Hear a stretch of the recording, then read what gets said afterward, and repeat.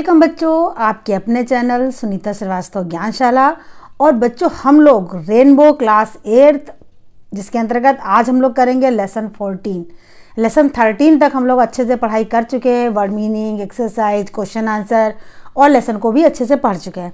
तो बच्चों, वो सब रिवाइज करने के साथ साथ आज स्टार्ट कीजिए नया लेसन फोर्टीन और हमारे साथ लेके बैठ जाइए पेन और नोटबुक और साथ में पेंसिल भी क्योंकि प्रोनाउंसिएशन जिन वर्डों का ना हो सके तो उनको आप पेंसिल से बुक पर लिख लें और फिर बाद में पार्ट को ज़रूर पढ़ें।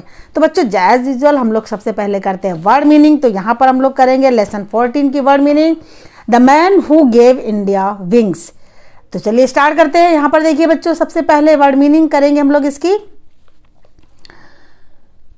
प्रॉपरली नहीं सॉरी प्रॉपरली यहाँ पर लिखा हुआ ठीक से।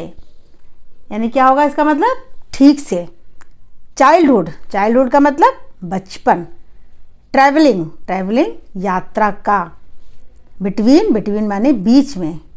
एंसेस्टर एंसेस्टर माने पूर्वज। और रिक्रूटेड रिक्रूटेड माने भर्ती किया। आगे देखिए एडमिशन माने प्रवेश। नेसेसरी नेसेसरी आवश्यकता। क्या नेसेसरी है? नीड है। यहाँ पर देखिए बच्चे एयर एयर माने होता है उत्तराधिकारी। इनहेरिटेड इनहेरिटेड माने विरासत में मिला। डायरेक्टरशिप डायरेक्टरशिप मतलब है निदेशक, यानी डायरेक्टर माने निदेशक। चेयरपर्सन चेयरपर्सन माने अध्यक्ष। टायरलेसली टायरलेसली माने बिना थके हुए। एवियरर एवियरर माने होता हवाबाज। फिलेंथ्रोपिस्ट फिलेंथ्रोपिस्ट माने क्या होगा? मानवतावादी। एजुकेनिस्ट एजुकेशनिस्ट माने होगा शिक्षाविद। स्पोर्ट्समैन स्पोर्ट्समैन माने खिलाड़ी पोएट पोएट माने कवि स्कल्प्टर स्कल्प्टर माने मूर्तिकार, ये देखिए आगे स्कल्प्टर माने मूर्तिकार अपील अपील माने निवेदन पीस पीस माने शांति, और एक्सेल माने बहुत अच्छा किया।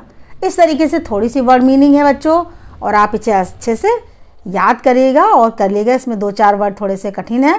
उनको आप बार बार प्रोनाउंसिएशन करेंगे तो आपको याद आ जाएगा, समझ में आ जाएगा। जैसे ये है आप थोड़ा तोड़ कर पढ़ेंगे फिलेंथ्रोपिस्ट यानी मानवतावादी और ये देखिए एजुकेनिस्ट माने शिक्षाविधि तो इस तरीके से आप पढ़ भी नहीं कीजिएगा। यहाँ पर एक बहुत अच्छा सा कोट है, जो रतन टाटा जी का है, आगे देखते क्या है वो?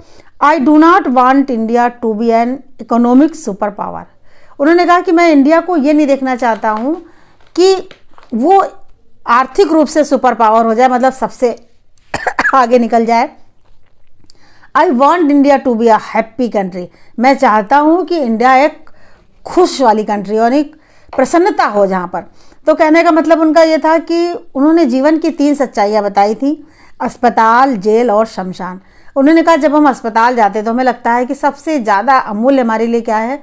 स्वस्थ रहना है। अगर हम स्वस्थ रहेंगे, तभी हम कुछ कर सकते हैं। अगर हम कभी जेल में जाकर देखें तो जेल में ऐसा लगता है कि स्वतंत्रता ही सब कुछ है। जब हम स्वतंत्र नहीं है तो हम क्या कर सकते हैं? और जब शमशान में हम पहुँचते हैं तो हम देखते हैं कि जीवन कुछ भी नहीं है। यानी जो कुछ है, वो सब बेकार है, निरर्थक है। तो कहने का मतलब क्या हुआ कि जीवन के कुछ हमें फंडे, फंडामेंटल हमारे जो विचार होना चाहिए, हमारे ऐसी सोच होनी चाहिए जिनसे हम अपने जीवन को खुशहाल कर सकते हैं। साथ ही अपने अपने परिवार को, अपने आसपास के लोगों को, आसपास के बाद और लोग बढ़, दायरा बढ़ता जाएगा। तो एक खुशहाल कंट्री के रूप में वो देखना चाहते थे। उनका क्या कहना था कि हम चाहे हम जिसमें रह रहे मकान हमारा 300 वर्ग फुट का हो या 3000 स्क्वायर वर्ग फुट का हो, हम रहते तो वही हैं। चाहे हम पाँच सौ रुपये वाली घड़ी से देखें, चाहे हम पाँच रुपये वाली घड़ी से देखें, हमें समय वही दिखाई देता है। और चाहे हम सौ रुपये की पर्स रखें या एक हज़ार की पर्स रखे, लेकिन पर्स में सब कुछ समान होगा। तो उनका कहने का मतलब ये था कि जहाँ पर हम रहते हैं, हमारे भाई, बहन, मित्र, हमारे, उनके साथ हम हँसते गा बैठते हैं, उनसे बातचीत करते हैं। वही हमारे लिए सबसे बड़ी खुशी है, ना कि पैसा हमारे लिए सबसे आगे है। तो इसलिए उन्होंने कहा था कि I want India to be a happy country मैं चाहता हूँ कि इंडिया एक खुशहाल देश बने, ऐसे उनके विचार थे। तो चलिए, आज हम लोग इस लेसन को भी रीड करेंगे इसी के साथ और समझेंगे भी उसका अर्थ। तो यहाँ पर देखते हैं बच्चों स्टार्ट करते हैं। Do you know the name of the man who gave India wings क्या तुम उस नाम के जानते हो जिन्होंने भारत को विंग दिए, यानी कि पंख दिए उड़ने के लिए?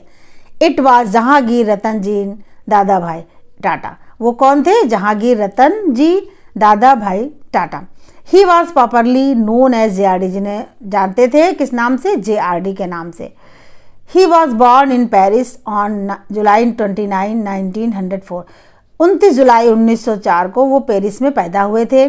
हिज फादर रतन जी दादा भाई टाटे उनके पिता रतन जी दादा भाई टा, टाटा वास पारसी वो पारसी थे। मदर सुजैन ब्रियरी वो कौन थी? वो फ्रेंच थी। यानी इनकी जो माँ पिता थे वो पारसी थे और जो उनकी माता थी वो फ्रेंच की थी। Tata childhood was spend travelling between France and India.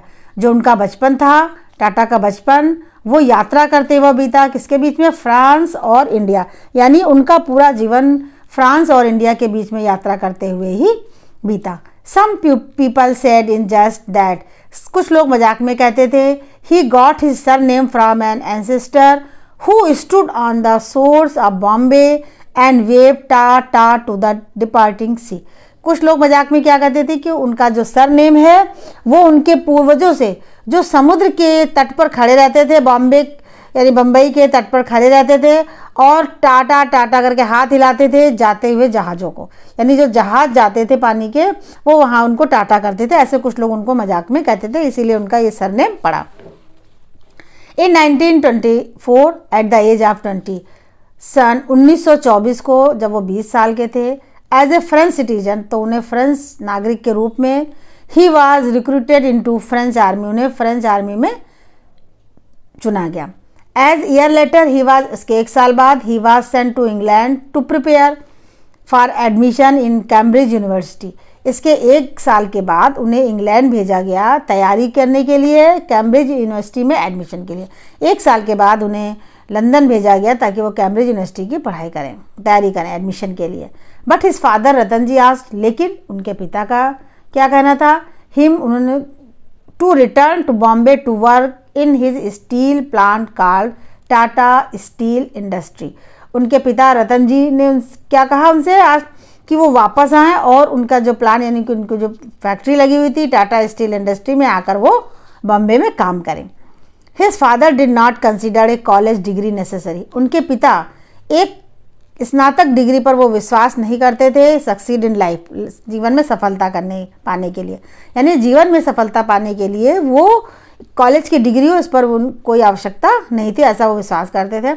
A year later Ratanji died एक साल के बाद रतन जी मृत्यु हो गई उनकी। हिज एल्डर सन उनके बड़े पुत्र होने के नाते हायर उनके उत्तराधिकारी होने के नाते। Jehangir inherited the directorship of the Tata sons and board Jehangir को क्या हुआ? उनके बड़े बेटे होने के कारण, उनके उत्तराधिकारी होने के कारण जहांगीर को डायरेक्टरशिप मैंने निदेशक बना दिया गया टाटा सन्स एंड बोर्ड यानी टाटा सन्स एंड बोर्ड के उनको, क्या उनको निदेशक बना दिया गया। J R D became India first licensed pilot in 1929 J R D Bharat के पहले लाइसेंट पालक, जो पायलट थे। It was J R D who gave India's wings to fly in 1932 1932 में उन्होंने भारत को विंग दिए। JRD set up Tata aviation service उन्होंने टाटा एविएशन सर्विस की स्थापना की कब?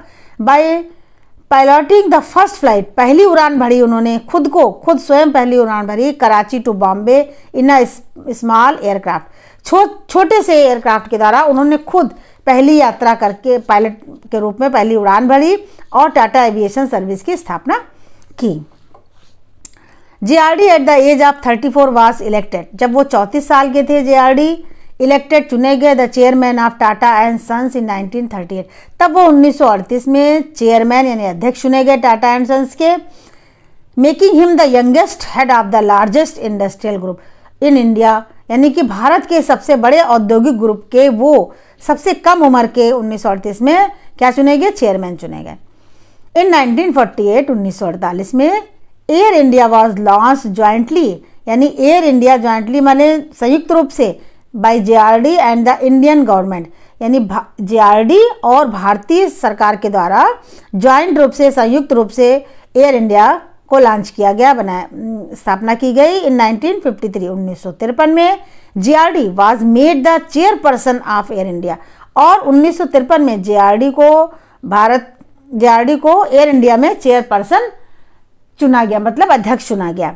For the next twenty five years उसके बाद पच्चीस साल तक ही वर्क टायरसली उन्होंने बिना थके, बिना रुके काम किया। To make Air India successful भारतीय उड़ान को सक्सेसफुल बनाने के लिए उन्हें अगले 25 साल तक बिना थके काम किया। J R D axle dot not only an aviator but also an S यानी जे आर डी जो थे, यानी कि जहांगीर, रतन जी, दादा भाई वो जो टाटा थे, वो क्या थे? वो केवल एक पायलट ही नहीं थे but also an a floss philanthropist यानी वो क्या थे? एक मानवतावादी एजुकेशनिस्ट यानी क्या? शिक्षाविद स्पोर्ट्समैन खिलाड़ी पोएट माने कवि, और स्कल्प्टर माने मूर्तिकार। वो ये सब भी थे, नहीं केवल इतना ही नहीं कि वो एक पायलट ही थे, उन्होंने एयर इंडिया की स्थापना की, या भारत को सबसे पहला टाटा एविएशन सर्विस दिया। यहाँ पर आप एक बात देख सकते हैं, बच्चों की जो जेआरडी थे, जिनके जो पिता थे, वो कौन थे? उनके रतन जी दादा भाई दादा भाई थे, जो पारसी थे और माता उनकी कौन थी? सुजैन ब्रेरी, जो कि फ्रेंच के थे। यानी उनका जो बचपन था, वो पूरा यात्रा करते हुए बीता था फ्रांस और इंडिया के बीच में। और इसके बाद उन्होंने, जबकि कुछ लोग मज़ाक में कहते थे कि वो समुद्र के किनारे समुद्र तट पर टाटा टाटा करते होंगे, जब जहाज़ जाते होंगे, इसीलिए उनके, उनका सरनेम ऐसा पड़ गया। लेकिन उन्होंने अपने जीवन काल में बहुत ज़्यादा प्रगति की और भारत को भी उन्नति के शिखर पर पहुँचाया। औद्योगिक क्षेत्र में उनका नाम सबसे पहले लिया जाता है। यहाँ पर आगे देखिए J last major public statement उनका जे का जो सबसे बड़ा जो था लास्ट जो उन्होंने कहा था स्टेटमेंट अपना जो वक्तव्य दिया था was an appeal to Indians to maintain भारतीयों को मेंटेन करना चाहिए पीस यानी कि अपनी शांति को मेंटेन करने के लिए उनका सबसे लास्ट आखिरी मेजर पब्लिक स्टेटमेंट था।